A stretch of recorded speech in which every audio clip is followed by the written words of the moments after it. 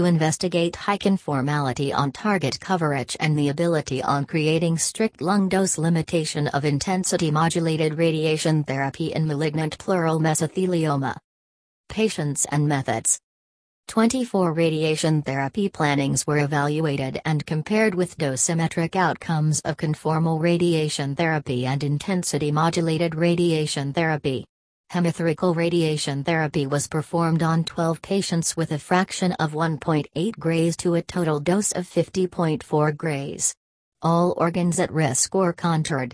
Radiotherapy plannings were differed according to the technique. Conformal radiation therapy was planned with conventionally combined photon electron fields, and intensity modulated radiation therapy was planned with 7 to 9 radiation beam angles optimized in inverse planning. Strict dose volume constraints were applied. Results Intensity modulated radiation therapy was statistically superior in target coverage and dose homogeneity. Intensity modulated radiation therapy planning target volume 95 mean 100%, three-dimensional conformal radiation therapy planning target volume 95 mean 71.29%, p equals 0.0001, intensity modulated radiation therapy planning target volume 105 mean 11.14%, Three-dimensional conformal radiation therapy planning target volume 105 mean 35.69%, p equals 0.001.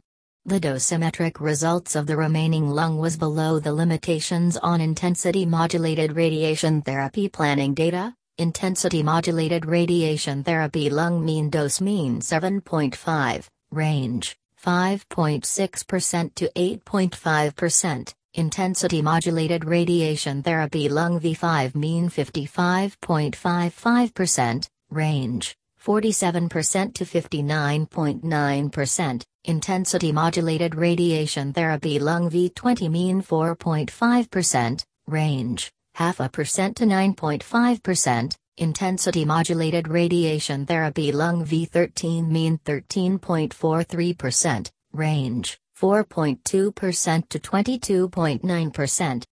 Conclusion With a complex and large target volume of malignant pleural mesothelioma, intensity modulated radiation therapy has the ability to deliver efficient tumoricidal radiation dose within the safe dose limits of the remaining lung tissue.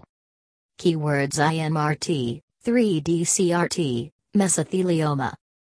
Introduction Malignant pleural mesothelioma MPM, is a rare, aggressive tumor, which is increasing worldwide. One radiation therapy, RT, plays an important role in the multimodality management of MPM. Both the symptom relieving and the prophylactic effects of RT and MPM are well known. Too recently, RT has been used within the multimodality treatment of MPM for curative purposes. 3 to 5 en bloc resection of the ipsilateral lung, pleura, diaphragm, and pericardium called as extrapleural pneumonectomy, chemotherapy, CT, and local regional RT, trimodality treatment, TMT, has shown promising results in operable patients. 6,7.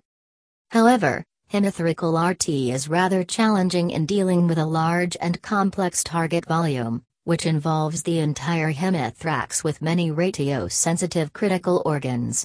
The conventional techniques that were used previously had substantial technical limitations, of which one of the most important was poor targeting of the pleural bed with efficient doses, especially in larger volume and irregular shaped targets. Moreover, the critical organs lying within the target volume, spinal cord, liver, kidneys, esophagus, heart, and contralateral lung, limited the full course of photon irradiation. Therefore, the photon-electron combination was thought to be the only option for radiating such a volume. 8,9.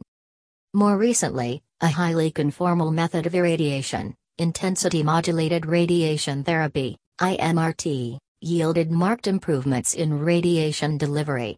Early studies of IMRT showed improved local control according to the highly conformal radiation of the target. 10,11 However, on follow-up, IMRT failed due to the high rates of treatment related fatal pneumonia.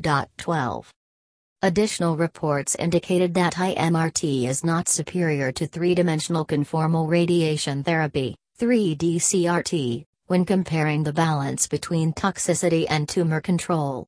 Krayenbuehl et al. found that lung dose is an important limitation for IMRT. 6 Allen et al. reported that the percentage of lung volume receiving 20 grays and higher doses, V20, is not sufficient for predicting radiation pneumonia in patients with MPM.